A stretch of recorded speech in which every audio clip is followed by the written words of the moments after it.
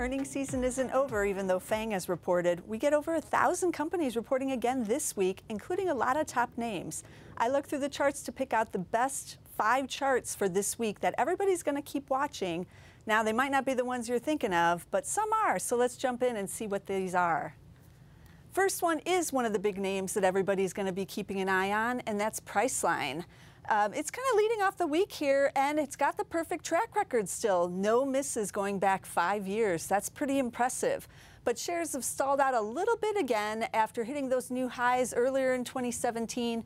We'll see what's happening with the travel industry with so much going on with the earthquakes and other um, natural disasters in the weather area. Uh, this is one that definitely everybody's going to keep watching.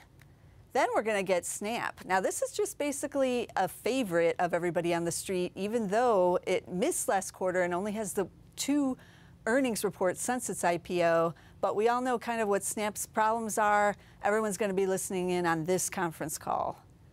And then you're going to get one of its uh, kind of peerish companies, even though this is on the ePay side, Square it's one of the hottest stocks in the street now. Just those two misses right when it went IPO, and then it's been beats every quarter. And we'll see if it's priced for perfection here or if it's got more room to run. And then NVIDIA, the other beast on the street that's going this week, only that one miss back in 2015 tars its record. And as you can see, I said maybe it was priced for perfection last quarter, but we got the huge massive beat in there. That's that long green arrow there.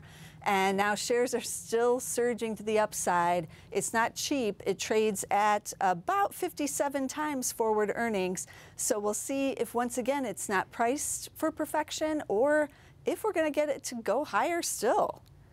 And then our one company that rounds out this group is the one that everyone's going to be watching, but for the opposite reason, and that's Macy's. It's at the five year lows here, even though it's beat two of the last four quarters and beat last quarter.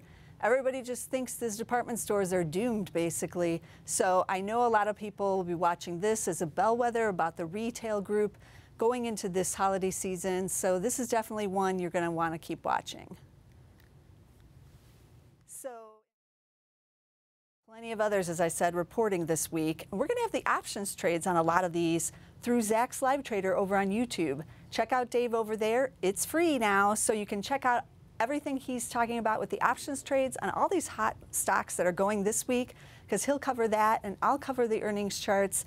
So be sure to tune in all this week because we're going to have plenty of earnings coverage.